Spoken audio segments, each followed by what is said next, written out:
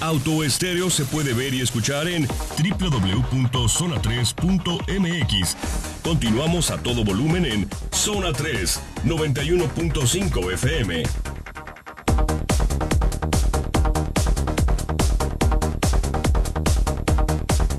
Bueno amigos, muy buenas tardes. Ya estamos de regreso en su programa Autoestéreo. Mi nombre es Alonso Maldonado. Les repito los nuestros números de teléfono para que nos, nos hagan llegar sus llamadas. Es 3122-4200 y 39224266, así como el Twitter, arroba zona 3 noticias y mi Twitter personal, arroba interautomotriz.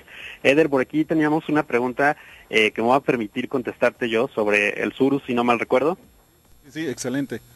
Bueno, fíjate que el Suru continúa, eh, lo que nos comentan en Nissan es que la demanda sigue y mientras la demanda siga, el Suru va a seguir en la línea de producción y se va a seguir vendiendo. Y bueno, en cuanto a tema de seguridad, pues también nos mencionan que ellos están dentro de la norma que marca el gobierno mexicano, entonces en el momento en el que esta norma pueda modificarse, pues ellos también modificarán eh, la seguridad del sur, pero bueno, pues ellos están dentro de la norma de de, de pues de seguridad que, marca el gobierno mexicano y que bueno, pues si, si las personas desearían o, buscarían algo más en cuanto a lo mejor espacio o equipamiento, pues que, que pueden acudir a, a la demás gama que tiene la, la marca disponible para el mercado. Excelente, excelente, porque pues esa era la duda, sobre todo, eh, a pesar de estas carencias que, que, mencionas, Alonso, eh, es un vehículo que sigue vendiéndose pues, en flotilla, no solo tanto para particulares, sino muchas empresas lo siguen comprando por eh, los costos, la economía y sobre todo la funcionabilidad, ¿no? Sí, claro, y bueno, pues el, ahora sí que, que Nissan, mientras, mientras haya demanda, pues ellos tienen que seguir ofreciendo ofreciendo el producto. Y bueno, me gustaría platicarte un poquito de lo que es la experiencia de haber venido a conocer la planta. Eh, no sé si yo creo que mucho de nuestro de nuestra audiencia ha tenido oportunidad de ver de ver por ejemplo en algunos programas cómo cómo se producen vehículos en, en otras partes del mundo y venir y darte cuenta que que incluso se mejoran los procesos en plantas mexicanas, pues aparentemente llena de orgullo, porque nos platicaban en el recorrido que hay procesos que se han implementado aquí en, en Nissan, en Aguascalientes, que, que se han exportado incluso a, a otras plantas de, de, la propia marca en diferentes países.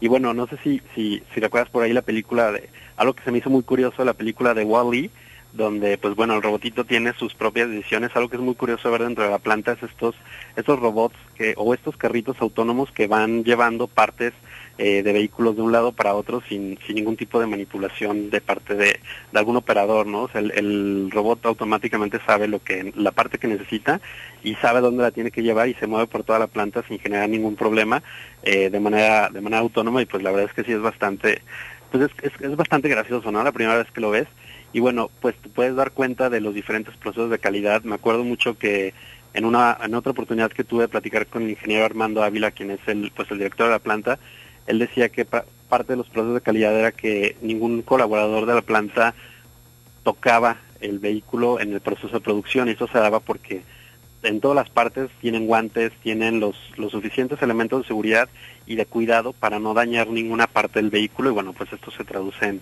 en, en, autos con que bueno que ya conocemos de calidad probada, ¿no? No, excelente. Y sabes qué, eh, yo no he tenido la oportunidad de ingresar a las instalaciones como tú, tú ahorita te encuentras, pero por la parte de afuera se ve impresionante la, la planta de Nissan allí en Aguascalientes. Es un complejo, bueno, pocas veces he visto, inclusive aquí con algunas otras empresas, por ejemplo aquí en el corredor industrial del Salto, donde, pues te, digo, desde afuera se ve impresionante, no imagino cómo va a estar adentro la producción, lo, esto que nos mencionas de los robots que están haciendo los vehículos, y sobre todo pues el diseño y la producción a estar pues impresionante. Platícanos un poco de esto, Alonso. Fíjate que eh, salen aproximadamente cada 38 segundos, sale sale un vehículo ya totalmente fabricado. Esto no quiere decir que tome 38 segundos fabricarlo, no, pero el ritmo va tan tan sincronizado que cada 38 segundos sale un producto de, de esta planta y bueno, sale eh, no nada más fabricado, sino probado, se prueban en, en, en pues diferentes pistas que hay alrededor de la planta para comprobar que, que, bueno, que sabe con todas las características que, que, la marca requiere, ¿no? Y bueno, respecto a que no conoces la planta de Nissan, yo espero que próximamente nos vuelvan a invitar aquí, Germán, eh, para que también la conozcas tú y que puedas ver y, y bueno, puedas experimentar todo lo que se vive, ¿no? Del, de toda la sinfonía de sonidos, de, de, herramientas, de soldaduras, de todo lo que te puedas imaginar, ¿no? De, choque de metales, pues es, bastante interesante Y eh, pues precisamente el año, el año pasado, en 2014, se produjeron 805 mil unidades, 805.871 unidades y se espera que para este año se llegue 828 mil unidades. Esto quiere decir pues que se está incrementando la producción y principalmente se va a incrementar en el vehículo Centra, eh, que se produce aquí, que es el que más ha estado teniendo demanda. Entonces se espera que se, que se incremente en este, en este auto que se produce. Fíjate, se produce en, en ambas plantas, en A1 y A2, aunque la producción de A2 se destina totalmente a la exportación. Aunque, bueno, se pueden se puede por ahí jugar un poco con los números eh, de acuerdo a las necesidades ¿no? del mercado y también se espera, bueno, el año pasado Nissan eh, facturó 300 mil unidades y yo creo que este año se espera superar esta cifra, no sé, a lo mejor 305, 310 mil unidades eh, o un poquito más, no sé, todavía hay, hay que ver cómo reacciona el mercado, pero pues bueno, sí se espera incrementar esta, esta cifra y pues es bastante interesante, ¿no? Que, que se rompa por primera vez el récord eh, de ventas o de facturación en el país en un año y que todavía existe esa expectativa de crecer en, números. No, y sabes qué, Alonso, el hecho de que han tenido muy pocos problemas o casi nulos en cuanto a huelgas, no así como en Puebla, de la otra empresa. Pero eh, algo, algo que nos platiques, Alonso, algunas novedades, ya viste algunos secretos ahí en la planta que nos quieras comentar. Fíjate que, que secretos o novedades que hayamos descubierto aquí en la planta no, pero, pero sí te puedo platicar que bueno, ya para finales de 2017 se espera que empiece la producción en una, en una planta aledaña a, al área A2 que se conoce, donde se van a producir vehículos de Infinity y de Mercedes-Benz a, través de una alianza con Daimler. Y bueno, es, pues sería la primera vez que ambas marcas producen en México. Todavía no sabemos qué, qué vehículos va a ser, aunque ya no lo podemos imaginar. Digo, ya por ahí nos adelantaron que se trata de un crossover compacto y, también se espera que en un futuro no nada más se fabrique un, modelo para cada marca, sino incluso dos modelos para, para ambas marcas, lo que representaría cuatro modelos diferentes del segmento premium fabricados aquí en la planta de Aguascalientes. No, pues excelente, excelente. Y en cuanto al nuevo máximo que nos comentaban, Alonso, ¿algo que hayas observado ahí nuevo? Fíjate que el máxima eh, lo conocimos en Nashville. Tenemos, bueno, vamos a platicar de él un poquito más el, el día miércoles pero te puedo adelantar que viene con un, con un reenfoque en cuanto a diseño. Eh, tiene una elementos que, que se toman de, del GTR, por ejemplo, por ahí tenemos una parrilla eh, en negro, una fascia negra que, que, se hereda del GTR, y pues también algo que a mí me, me llama mucho la atención de cuando lo conocí es la parte interior.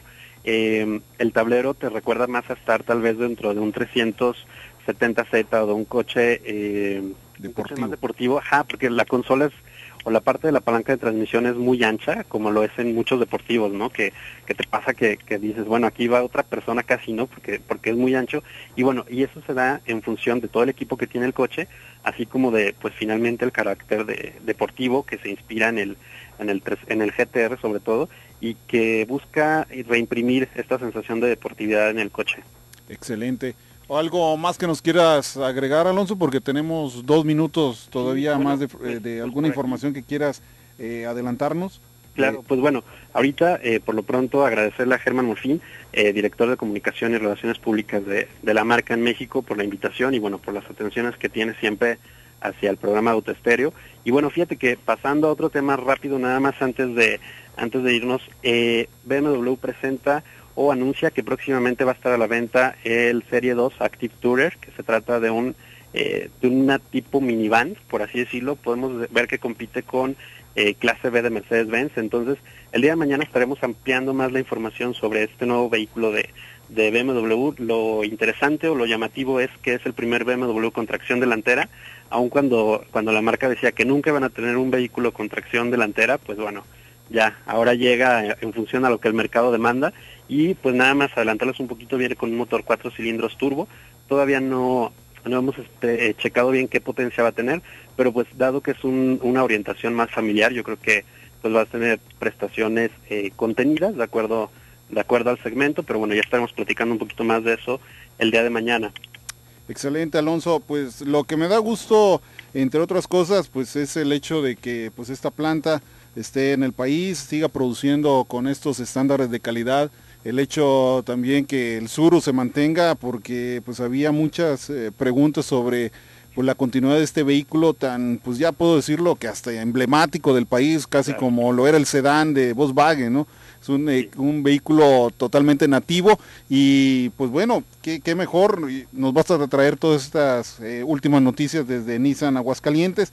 ¿Algo más que quieras agregar, Alonso? Pues bueno, recordarles que vamos a estar también el día de mañana y bueno, ya eh, permanentemente a partir de las tres y media de la tarde hasta las cuatro. Y los sábados creo que vamos a estar también eh, como lo hemos estado de 10 a 12 del día. Y bueno vamos a estar ahí platicando tú y yo no también los días sábado. Y bueno que no se que no se desconecten de la sintonía de autoestéreo correcto Alonso gusto saludarte. Saludos allá a Nissan Aguascalientes y estamos eh, continuamos aquí con la programación de Zona 3 Noticias. Canal Continental de Noticias. El